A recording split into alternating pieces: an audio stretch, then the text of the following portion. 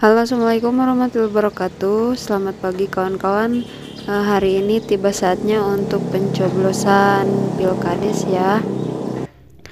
Uh, Hari ini 8 Juni 2021 Tepatnya hari Selasa Di RT Maksudnya RW 5 Diadakan pencoblosan untuk desa Mekarsari ya. Nah kali ini kita akan membuka kotak uh, suara ya kotak suara. Kita akan buka bersama-sama ya kawan-kawan. Terus simak videonya. Terima kasih buat kawan-kawan yang sudah menonton uh, proses dari awal persiapan sampai pencoblosan hari ini. Terima kasih banyak ya kawan-kawanku semuanya. Oh ya kawan-kawan untuk pembukaan kotak suara ini sedikit ada uh, kendala ya. Karena kunci uh, gemboknya tertukar dengan uh, TPS 6 sedangkan pencoblosan pilkades yang uh, tempat saya itu adalah TPS 5 jadi secara otomatis harus ditukarkan kembali ya tapi tidak jadi masalah karena banyak saksi dari setiap dari setiap calon ya. Di sini ada tiga saksi dari calon satu um, calon dua dan calon tiga ya. Semuanya menghadiri supaya tidak ada uh, sang prasangka apa-apa ya. Jadi harus ditukarkan dulu gemboknya ke TPS 6 ya. Nah ini yang kamera ini adalah uh, saksi. Nah yang belakang yang merah putih ini adalah prokes ya. Nah yang ini adalah sekretaris dan ketua disertai uh, dengan linmas ya. Nah ini proses pembukaan gembok yang tertukar kuncinya dengan TPS 6 ya.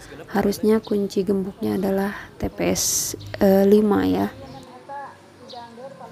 Nah di sini kami juga uh, menunggu orang yang menukarkan gembok ke TPS 6 uh, dengan persetujuan ketua, saksi, linmas dan pihak-pihak yang terkait supaya tidak uh, berprasangka yang lain-lain ya Nah, ini kesalahan bukan kesalahan dari panitia tetapi kesalahan dari ketua di atas ya.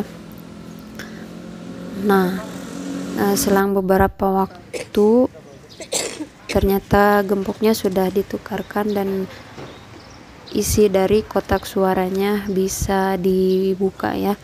Nah, ini isi dari dalam kotak suara yang tadi digembok yang sudah terbuka ya.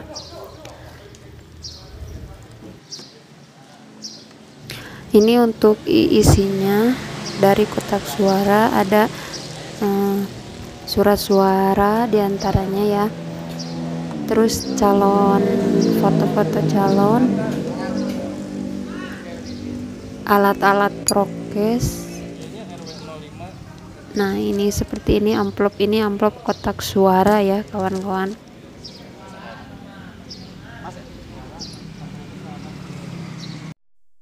Ini Pak Ketua saksi uh, juga yang lainnya menghitung surat suara yang diberikan dari pusat ya. Nah ini kita menghitung berapa jumlah surat suaranya. Nah yang berdiri di depan itu yang memakai pakaian hitam bertiga sama yang berkerudung merah itu adalah saksi dari masing-masing calon ya.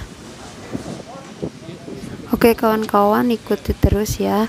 Uh, untuk pencoblosannya maaf saya tidak bisa bikin videonya karena saya sibuk ya jadi secara singkatnya saja untuk pemilihan suara dan hasilnya dimenangkan oleh calon nomor 2 yaitu Bapak Haji Dadang ya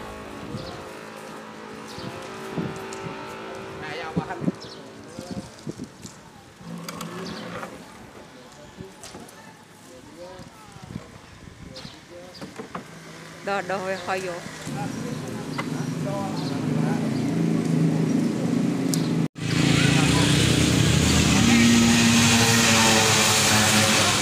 Sok, kobi foto yuk. Seri. Hiji dua seri atuh. Tah.